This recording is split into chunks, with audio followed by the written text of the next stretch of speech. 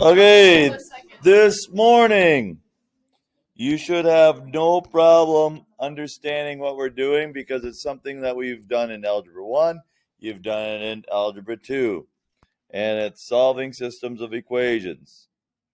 Okay, so we are jumping all the way to Chapter 7, and we're solving systems by elimination and substitution. Now,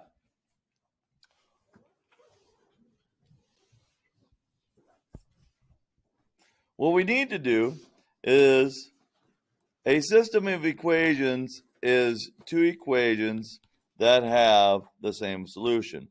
So if 2x plus 3y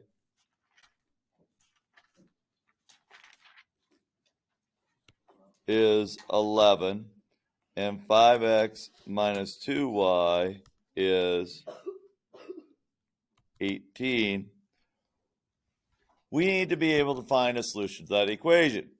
So you might be asked, like, is 5, 1 a solution to this equation? Okay. So looking at 5, 1, if we stick a 5 in there in for x and a 1 in there for y, is that a solution to the equation? And the answer is no. Okay, it is definitely not a solution to the equation. Okay, now if we stuck a number like, oh,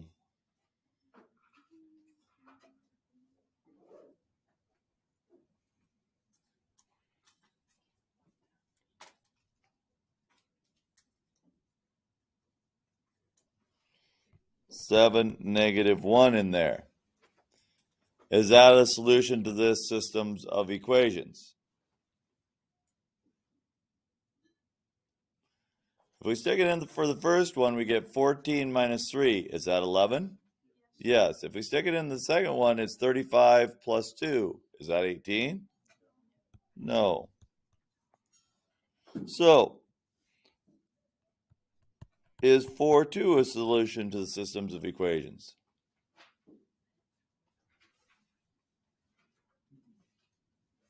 No. How about 4, 1? Boy, Mr. Sims was really quick to say yes there. But of course, he's correct. It is a solution to those equations. All right. So let's look at substitution first. If x plus 2y equals 12 and 3x minus 4y equals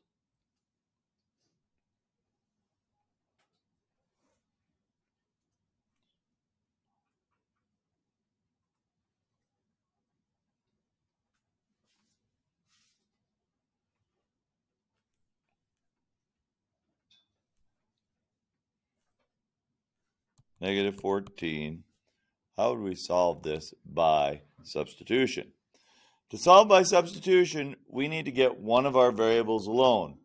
We look for the easiest variable to get alone. What's the easiest variable to get alone?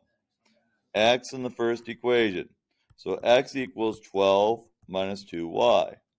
So then we take the 12 minus 2y and plug it in for the x of the second equation. So 3 times 12 minus 2y minus 4y equals negative 14.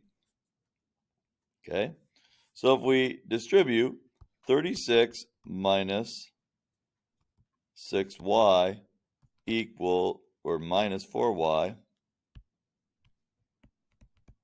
equals negative 14. So 36 minus 10y equals negative 14. Then what do we do to each side? Subtract 36. So negative 10y equals negative 50. So y must equal 5. So if y equals 5, we stick it into this equation to figure out what x equals. x equals 12 minus 2 times 5. X equals 12 minus 10. x equals 2. So the point 2, 5 would be the solution to both equations. We good there? Okay? So that's substitution. Now let's look at elimination. If 3x plus 2y equals negative 1, and 4x minus 2y equals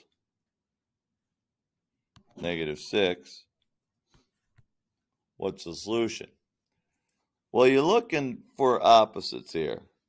And we have opposites here, so we want to add our columns. So if we add our columns, we get 7x equals negative 7. If we divide by 7, x equals negative 1. But that only gives me x. How do I find y? Plug it in. So we use substitution in the elimination method. It's just after the first step. So negative 3 plus 2y equals negative 1. We move the 3 over, we add 3. So 2y equals 2, y equals 1. So negative 1, 1 is our solution.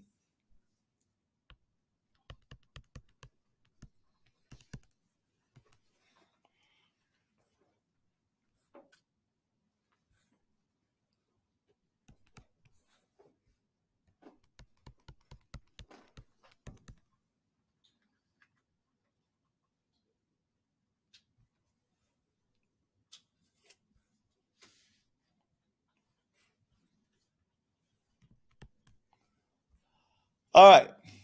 Now, this one's a little harder because we don't have opposites. And I just can't multiply a row by a negative 1 to create opposites. So what variable do you want to create opposites out of? Does it really matter? Not really. So let's create opposites out of our y's. To create opposites out of our y's, we multiply by the opposite thing. So if we have a 3 here and a 2 down here, we multiply the top row by 2. And then I'll multiply the bottom row by a negative 3 to create opposites.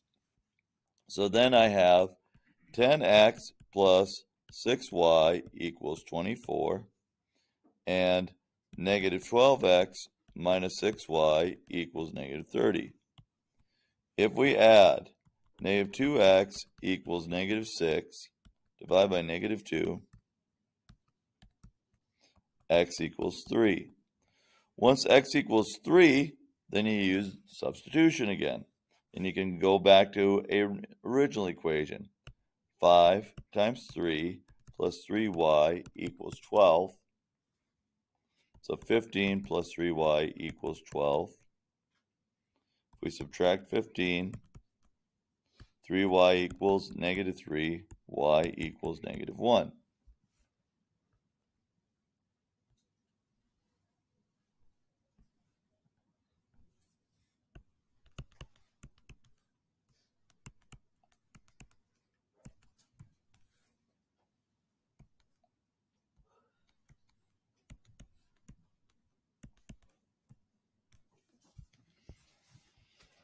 For this one,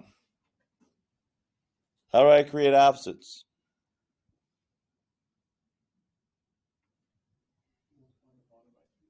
Multiply my bottom row by 2. So I have 2x plus 4y equals 7, and negative 2x minus 4y equals 10.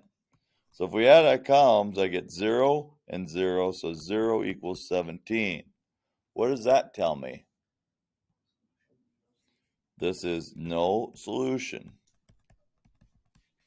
because 0 does not equal 17. Let's take a similar example.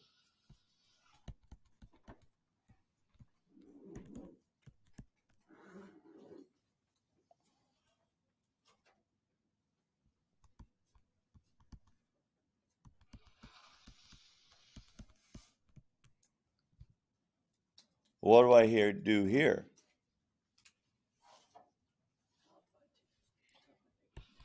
Multiply the top by negative 2. So I get negative 10x minus 4y equals negative 20. And 10x plus 4y equals 20. If I add, I get 0 equals 0. What's the solution for this one?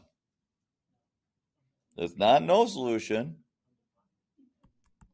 It's infinitely many solutions.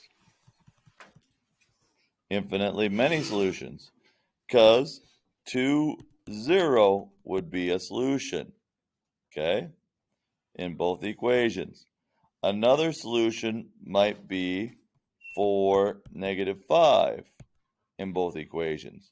4, negative 5 is the solution. And I can go on and on and on and find more and more solutions. So that's infinitely many solutions. Okay? So in your first assignment today, you'll get some where, well, you'll get one where you just have to plug in the variable and see if it works or not.